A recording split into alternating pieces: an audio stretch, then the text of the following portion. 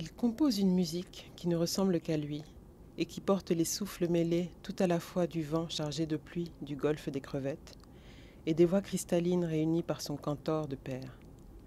À son identité subsaharienne se greffent des cordes lusitaniennes, prussiennes, en un mot musiciennes. Toutes se rejoignent sur un même archet et résonnent par l'ouverture d'une même rosace. Du pouce, il frappe la table d'harmonie et sent battre la pulsation séminale des arbres. Il plane, s'évade et se laisse traverser par la puissance de l'Esprit des dieux.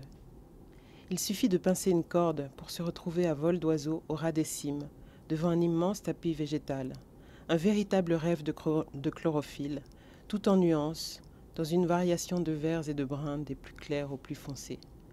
Ici, le toit du monde est vert, profond et infini comme la mer.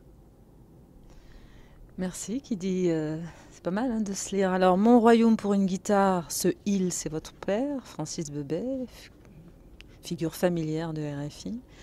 Si on s'arrête juste une seconde sur lui, on peut dire que c'est vraiment l'emblème du métissage musical, votre père on pourrait dire ça, un homme qui, euh, dans les années 30, euh, écoute de la musique de Bach et de Handel parce que son père fait chanter ce genre de musique à sa chorale, et puis qui, après avoir été empêché d'écouter les, instruments traditionnels, va s'en emparer sacrément, va aussi s'emparer de la guitare et va partir à travers le monde avec, avec tout ça à offrir.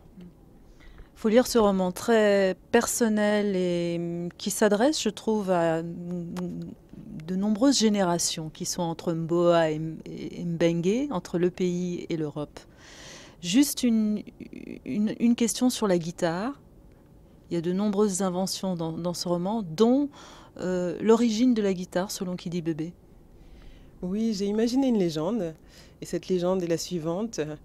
Euh, au milieu du XVe siècle, euh, une caravelle portugaise se détourne en, route vers les Indes, les Indes, se détourne vers le Cameroun, s'arrête dans le golfe des crevettes et rencontre des piroguiers qui viennent faire connaissance. Malheureusement, la rencontre n'a pas lieu.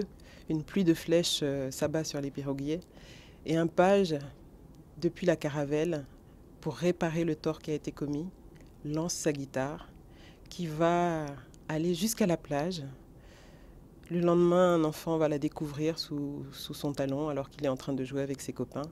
Et cette guitare va être rapatriée dans la maison qui sera celle de mes arrières, arrière, arrière, arrière, arrière grands-parents. Merci, Kidi.